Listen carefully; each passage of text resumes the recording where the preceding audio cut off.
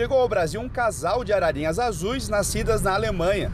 Esta espécie está extinta na natureza e, de acordo com o Instituto Chico Mendes de Conservação da Biodiversidade, existem apenas 90 animais em cativeiro. Depois de desembarcar no aeroporto de Guarulhos, em São Paulo, na manhã desta terça-feira, as aves foram transportadas até o quarentenário oficial do Ministério da Agricultura na cidade de Cananéia, a 224 quilômetros de São Paulo, onde permanecerão em observação por cerca de 15 dias.